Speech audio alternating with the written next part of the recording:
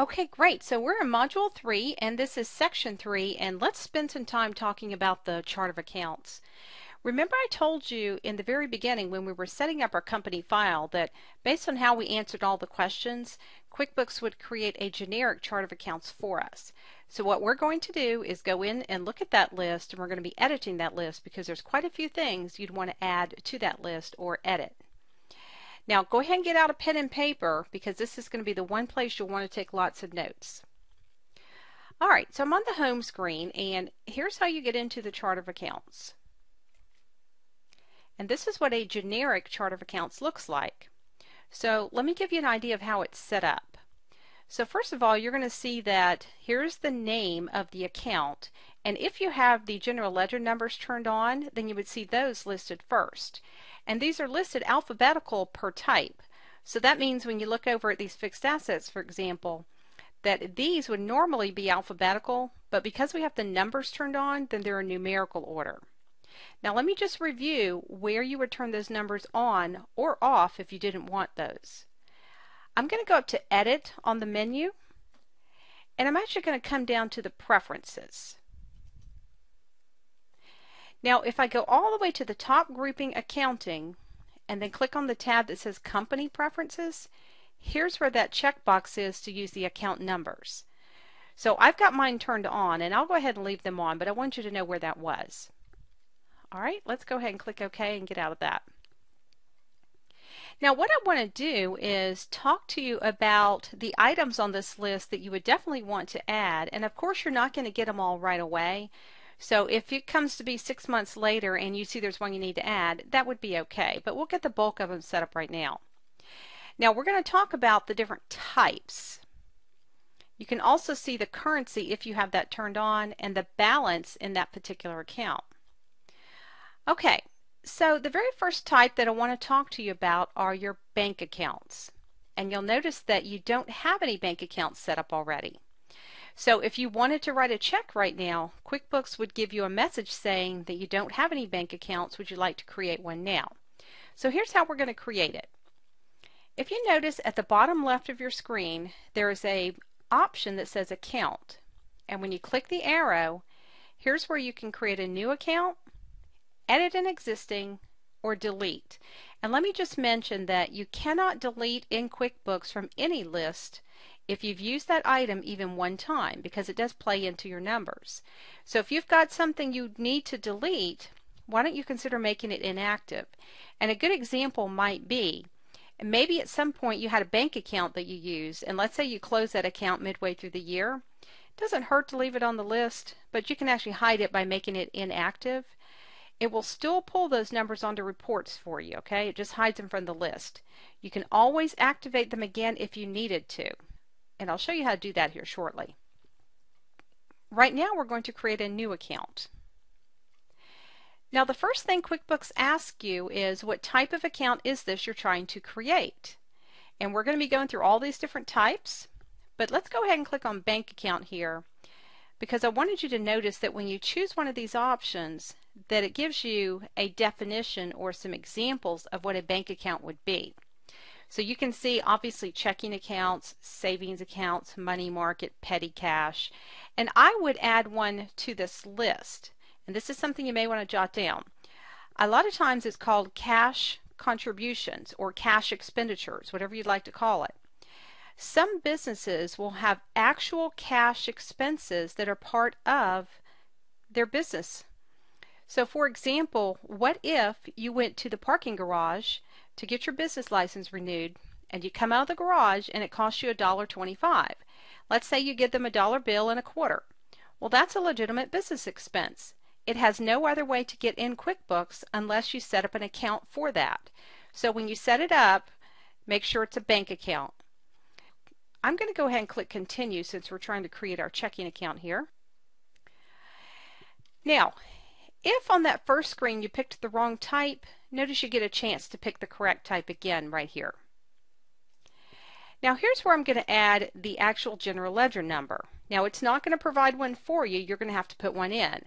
Now I looked ahead of time and decided that I wanted to use 10,000 as my number. The next thing it asks you to do is give your account a name, and you can actually call it anything you'd like. I'm going to call this one checking, but it could be that in your business you have a payroll account and an operating account. Call them that. It could be you want to call one First Federal and one BB&T. You can name them anything you'd like. Now this is not a sub account of another. We're going to go into sub accounts in a little bit. And notice that if you do have the multiple currencies option turned on, then you could see here that you can choose which currency you'd like to see this in, and in this case the US dollar. Now description is totally optional. Most people know what a checking account is, but if you're sharing this file with someone, you may want to put a description of the particular bank or the fact this might be the operating account. But remember that someone's got to be on this exact screen to see that description. There is a place to put your bank account number and your routing number, but I wouldn't put that information here unless you happen to sign up with one of the ancillary services that QuickBooks offers that needs that. But other than that, there's really no reason to put that information in. Now you will need an opening balance.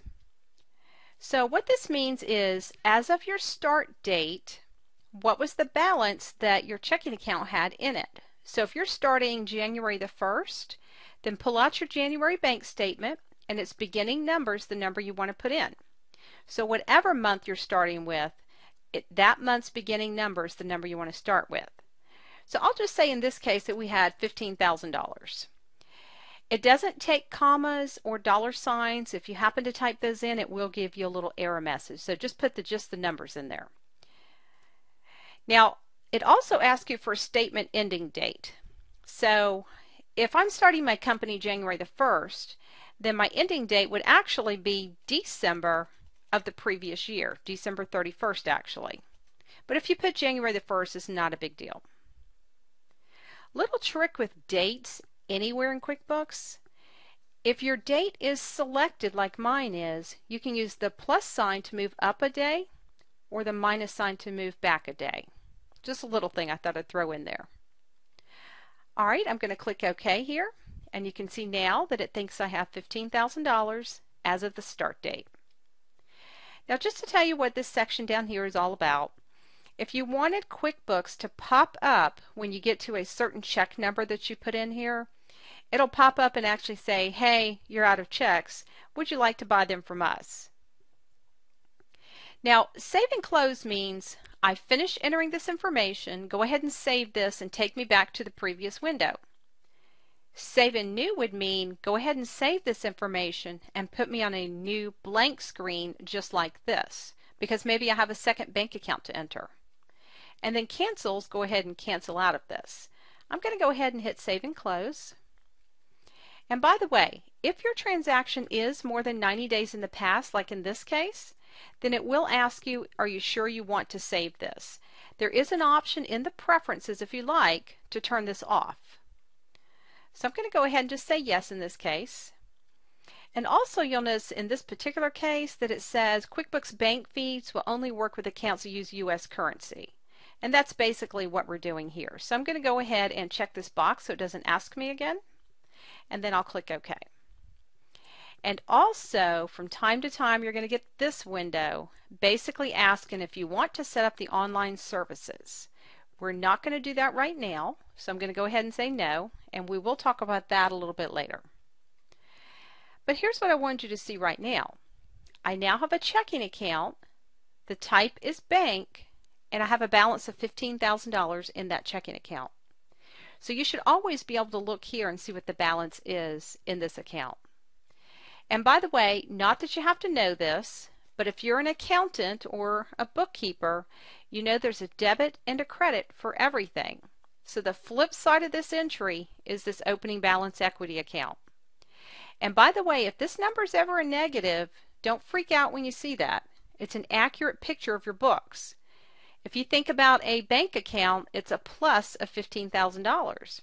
But if you actually had a loan, which means you owe that money, and let's say it's more than 15, then that puts this in the negative.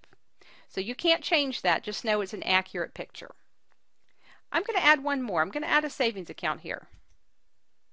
So I'm going to go down to account new. I'm going to say this is a bank account. Continue. The account name will be Savings.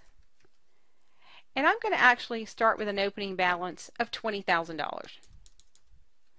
As of my start date, and notice this time I'm just going to type it in and click OK. Now I'm going to save and close. And I know this is more than 90 days in the past, so I'll just say yes. I am not going to set up my bank feeds right now. And notice now I have 20,000 in the savings and I have 15 in the checking. Now look what happens when you don't put an account number in, like savings. So let me show you how to edit that. I'm going to click on savings. I'm going to come down to account and this time I'll choose the edit option. Here's where I'm going to add my number and let's say I want to use 12,000 this time and I'll save and close. And now you'll notice they're in numerical order. Okay, so going down the list, let me talk about a few other accounts that you'll definitely want to add. Assets. Now what an asset is, is something that makes your business more valuable. It could be that your business owns a piece of property. It could be your business owns vehicles, lamps, desks, chairs, anything that makes the company worth more. Some assets are liquid. For example, if you have inventory, that's actually an asset and your business is worth more, but your goal is to sell it and get it out the door. QuickBooks calls them other current assets. Fixed assets are things you plan to keep long term. I'm going to keep the vehicles, the property, things like that. So this is where the accountant is going to come in very handy. He or she is going to help you decide which accounts they would like you to set up, and these are going to be more like big buckets, not necessarily an account for every single item the business owns. So if it's vehicles, for example, he or she will help you determine the value of all of the vehicles at a particular time. And then you can enter that particular number. So I'm going to go ahead and stop the video right here and let's go into part two so we can continue talking about this chart of accounts.